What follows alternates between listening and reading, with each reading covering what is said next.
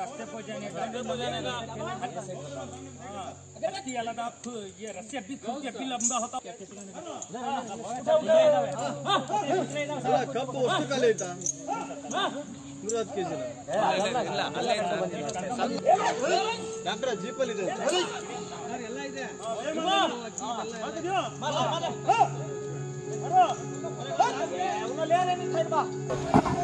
ಇವತ್ತಿನ ದಿನ ನಾವು ಒಂದು ನಮ್ಮಲ್ಲಿ ಒಂದು ಕುಂತಿ ಅಂತ ಒಂದು ನಲವತ್ತೈದು ವರ್ಷದ ಆನೆ ಇದೆ. ಅದು ಎರಡು ಮರಿ ಹಾಕಿತ್ತು. ಮೊದಲನೇ ಮರಿ ಆಲ್ರೆಡಿ ಈಗ ದೊಡ್ಡದಾಗಿದೆ. ಇವತ್ತು ಅದ್ರ ಇನ್ನೊಂದು ಮರಿ ಧನುಷ್ ಅಂತ ಹೇಳ್ಬಿಟ್ಟು ಅದಕ್ಕೆ ಎರಡು ವರ್ಷ ಮೂರು ತಿಂಗಳಾಗಿದೆ. ಬೇಸಿಕಲಿ ಬಂದು ಕುಂತಿ ಸಕಲೇಶ್ಪುರದಿಂದ ನಾವು ತೊಗೊಂಬಂದಿದ್ದು ಫಸ್ಟು ಅದಕ್ಕೊಂದು ನಲವತ್ತೈದು ವರ್ಷ ಆಗಿದೆ ಈಗ. ಅದು ಇಲ್ಲಿ ಕ್ಯಾಂಪಲ್ಲೇ ಎರಡು ಮರಿ ಹಾಕಿದೆ. ಎರಡು ಮರಿನಲ್ಲಿ ಇದು ಎರಡನೇ ಮರಿ. ಸೊ ನಾವೇನು ಮಾಡಿದ್ವಿ? ಅದನ್ನು ಎರಡು ಕಿಲೋಮೀಟ್ರ್ ದೂರದಲ್ಲಿ ಈಗ ಅಲ್ಲಿ ಕಟ್ಟಿದ್ವಿ. ತಾಯಿನ ಅಲ್ಲಿ, ಕುಂತಿನ ಅಲ್ಲಿ ಕಟ್ಟಿ ಅದ್ರ ಜೊತೆಗೆ ಎರಡು ಎಲಿಫೆಂಟ್ನ ಬಿಟ್ಬಿಟ್ಟು ಬಂದಿದ್ವಿ. ಮತ್ತು ಈಗ ಕ್ರಾಲಲ್ಲಿ ನಾವು ಈ ಮರಿನ ತೊಗೊಂಬಂದು ಇಲ್ಲಿ ಇಟ್ಕೊಂಡಿದ್ವಿ. ಈಗ ಸುಮಾರು ನಾವು ಹಿಂದೆಲ್ಲ ಮಾಡಿದ್ದು ವಿನಿಂಗ್ ಲೆಕ್ಕದಲ್ಲಿ ತುಂಬ ಕಷ್ಟ ಆಗ್ತಿತ್ತು. ಬಟ್ ಈ ವರ್ಷದ ಇದ್ರ ಲೆಕ್ಕದಲ್ಲಿ ನಮ್ಗೆ ತುಂಬ ಈಸಿಯಾಗಿ ಬೇಗನೆ ಮುಗಿದಿದೆ ಈ ತಾಯಿಯಿಂದ ಮಗುನ ಬೇರ್ಪಡಿಸ್ತಕ್ಕಂಥದ್ದು, ಹಾಲು ಕುಡಿಯೋದನ್ನು ಬಿಡಿಸ್ತಕ್ಕಂಥದ್ದು.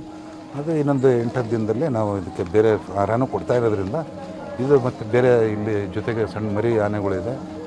ಇನ್ನೊಂದು ಹೊಸದಾಗಿ ಬಂದಿರೋ ಆನೆ ಮರಿನೂ ನೀವು ನೋಡಿದ್ದೀರಿ. ಸೊ ಹಾಗಾಗಿ ಇದು ಇಲ್ಲಿ ಚೆನ್ನಾಗಿ ನೋಡ್ಕೊತೀವಿ. ಮತ್ತು it is a very good process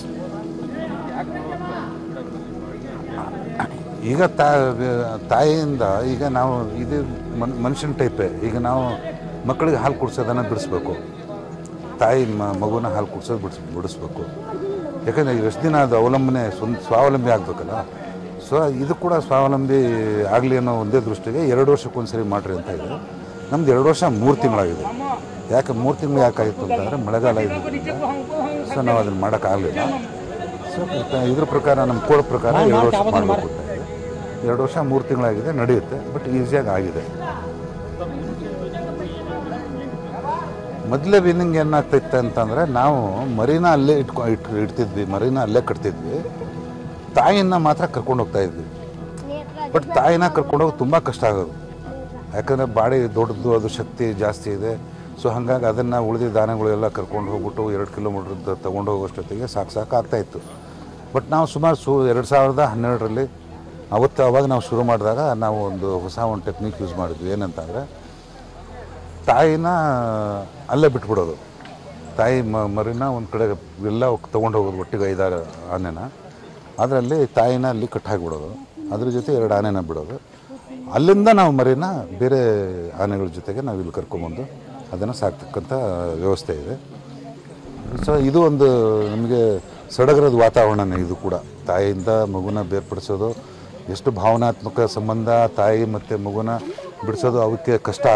but ಆದರೆ ನಮಗೆ ಇದು ಒಂದು ಸಣ್ಣದೊಂದು ಸಂಭ್ರಮದ ಕೆಲಸ. ಯಾಕಂದರೆ ನಾವು ಅದಕ್ಕೆ ಸ್ವಾವಲಂಬಿಯಾಗಿ ಬದುಕೋಕೆ ಒಂದು ಅವಕಾಶ ಮಾಡಿಕೊಡ್ತೀವಿ ಅನ್ನೋದು ಒಂದೇ ಇದು ಏನಿಂದ ಉದ್ದೇಶ. ಮತ್ತು ಬೇರೆ ಯಾವುದೇ ಮಿನಿಮಮ್ ಈಗ ನೀವು ನೋಡಿದರೆ ನೀವು ಸುಮಾರು ಸುಮಾರು ವರ್ಷದಿಂದ ನೋಡ್ತಾ ಬರ್ತಾ ಇದ್ದೀರಿ ನಮ್ಮ ಕ್ಯಾಂಪಲ್ಲಿ ಒಂದು ಮೂರು ತಿಂಗಳಂತೂ ಮಿನಿಮಮ್ ಮೂರು ತಿಂಗಳಂತೂ ಬೇಕಾಗುತ್ತೆ ತಾಯಿನ ಮರೀಲಿಕ್ಕೆ. ನಾವು ಆದಷ್ಟು ಕೂಡ ಈ ಮೂರು ತಿಂಗಳಲ್ಲಿ ನಂತರದಲ್ಲೂ ಕೂಡ ಒಂದು ಮೂರು ತಿಂಗಳು ಸ್ವಲ್ಪ ಅದನ್ನು ಬೇರೆನೇ ಮೇಯಿಸೋದು ಬೇರೆನೇ ಕರ್ಕೊಂಡು ಹೋಗೋದು ಅದ್ರ ಜೊತೆ ಕವಾಡಿಗಳನ್ನು ಇಬ್ಬರನ್ನ ಜೊತೆಗೆ ಇಡೋದು ಈ ಥರ ಮಾಡ್ತೀವಿ ಅಂದರೆ ತಾಯಿ ಜೊತೆಗೆ ಸ್ವಲ್ಪ ಸಂಬಂಧ ಸ್ವಲ್ಪ ದೂರ ಇರಲಿ ಅಂತ ನಂತರದಲ್ಲಿ ಅದು ತಾನಾಗೆ ಅದು ಮರ್ತು ಹೋಗುತ್ತೆ ಇದು ಮರ್ತು ಹೋಗುತ್ತೆ. ಸೊ ಸ್ವಾವಲಂಬಿಯಾಗಿ ಬದುಕುತ್ತೆ?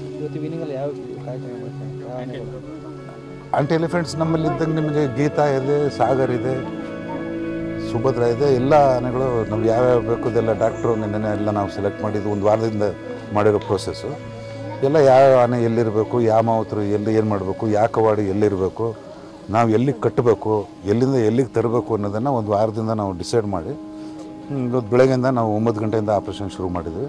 ಈಗ ಆಪ್ರೇಷನ್ ಮುಗಿದಿದೆ.